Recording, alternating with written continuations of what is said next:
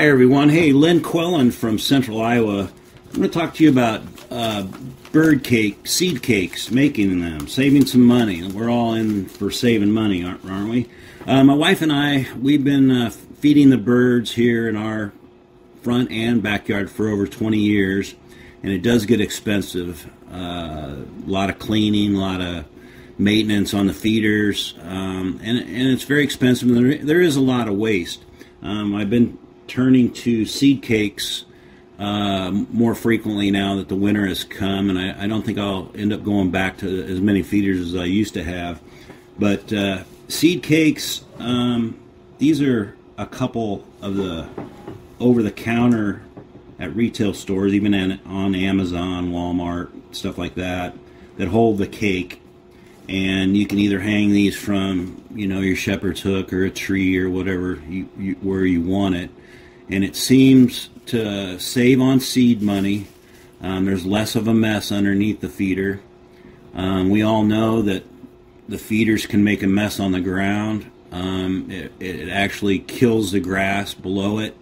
Um, we got a lot of moles eventually that would come, and there goes my cat. And uh, it was just a waste. So we, I wanted to turn to something different that the birds don't have to, like sparrows and finches and such, they don't have to just look for everything that they want to get and throw everything else on the on the ground for waste. So anyway, these are the type of feeders you can buy, but you can do anything. You you could just get some. This is just eighth inch Dacron line. It's very strong. It's like a 150 pound test. I can I use them over and over, and then I just cut some quarter inch dowel rod. So this uh, Dacron goes through the center of the cake, the cylinder cake uh, suet that we're going to make here pretty quick. And then you can just hang this from a tree, and the suet cake fits right on here, the cylinder. So there's a lot of different ways you can uh, put it, or you can actually just put it on top of a flat feeder or platform feeder. Anyway, our recipe, after trying and trying to get it quite right, this holds five cups of seed or five cups of water, pretty much the same. Um, the main ingredient is gelatin. Um, what we found out is if you use one cup of water with two packs of gelatin, we've been using Knox. It's not super cheap. You might be able to find it in bulk in cans or something, but it's averaging about 40 cents a pack. So to make one suet cake in this size is going to cost us, with some mis- miscellaneous seed on top, probably a little, you know, maybe a buck 20 per seed log. So the ingredients is, you know, one cup water mixed with the gelatin, and then you mix it with the seed you use. You can also put them in other containers. You don't have to buy these. You could put it in an old suet container, fill it up, and then you can put it in like this is just a uh, chocolate almond uh, piece of plastic that's twice as big as this one. So you can put them in all kinds of different things. Here's one that I made. It was actually in an Oreo box container that I got for Christmas from one of my kids. So you can make big seed logs like this, which I do have a couple feeders that are this big.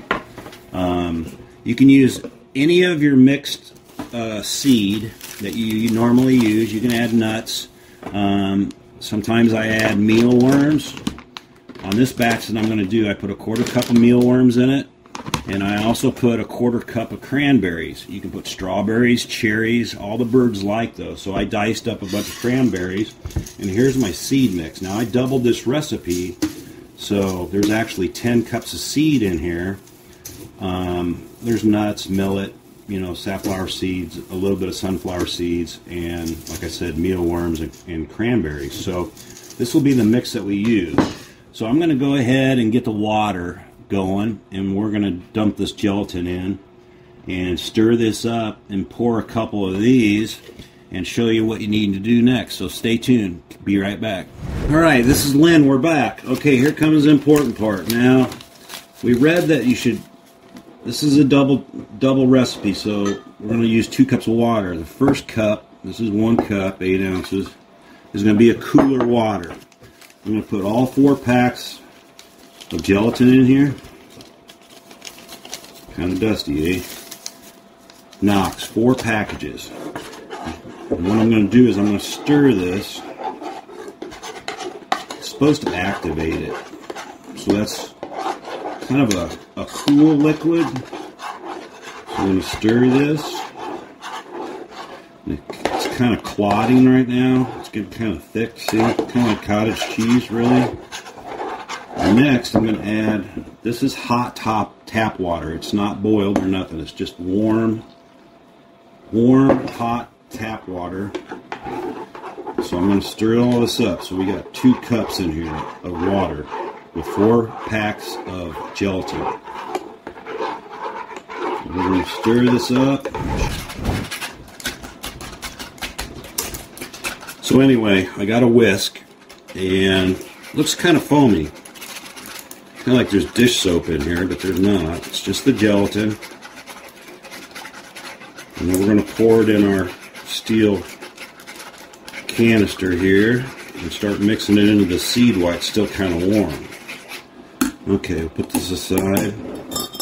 I'm going to dump this in our 10 cups of seed it's still kind of warm. What I'm going to do is I'm going to stir this up so it mixes all the seed in here. And I just got this at Walmart, this kettle.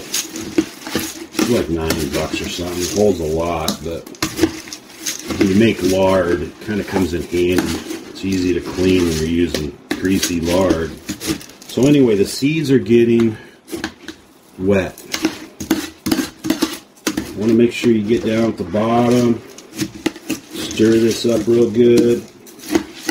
Everything's kind of mixed. Every little piece in here is nice and wet.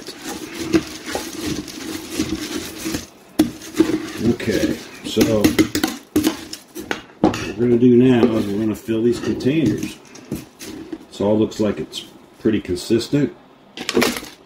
I'm to fill these up to about, I don't know, a half inch to the top, from the top. Now the dowel rod that I'm pushing in, it's about a 9 inch dowel rod. It's 7 sixteenths in diameter. But some of the uh, feeders that you buy might only be a quarter inch rod, so you might have to use a smaller rod, but most of mine are pretty close to a half inch. So there's one. And if you got left over, just put it in another suet container and you can use it. But we should be, it should come out about right. And yeah, I'm making a mess, kind of a mess.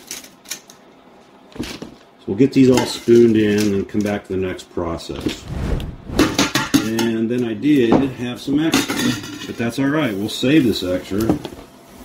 We can use it like in a platform feeder or something later, but you'll get better as you do it.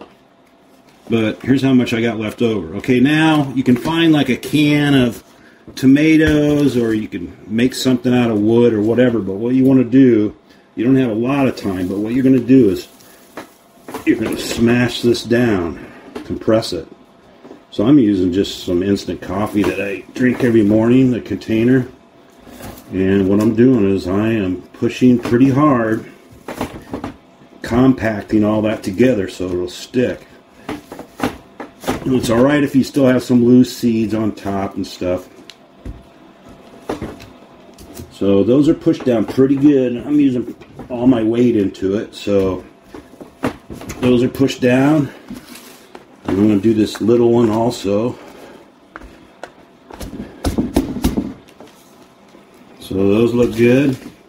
Now, here's what I did. I cut dowel rod. This is 7 16 dowel rod, um, which is big enough for the feeders that I use or if I want to put a string through it. So I just go right in the center and I go right down through the bottom of it until I hit the plastic. I'm going to do both of those right now.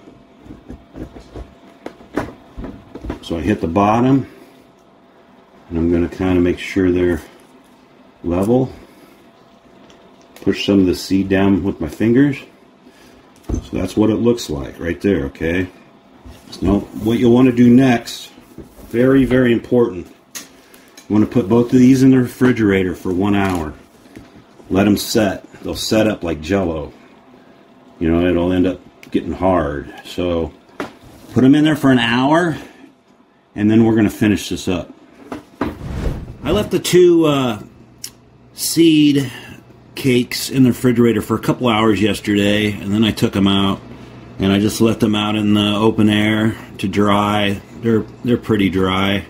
You can also freeze these if you want. Now, come summertime, I don't know how long these will last. I really don't know. I can keep you updated, but I'm going to post another video on how to do lard cakes. So this is going to be linked to YouTube. You can look under Len Quelland, and I'll have a link for this video, which is kind of long, about 10 minutes. But here's what they look like. And I'm going to put this on the pedestal right now, on the feeder. Then I'm going to take it out and get it hung up and see what we can get. See if we get some uh, hits on it right away. So, anyway, I, I'm going to tell you the longevity. We have a lot of birds and I got about six of these hanging up outside. And um, we'll see how they do. And um, they usually last about a week or so with all the birds that we have. All right. Thanks for watching and uh, stay tuned for some more videos. Bye bye.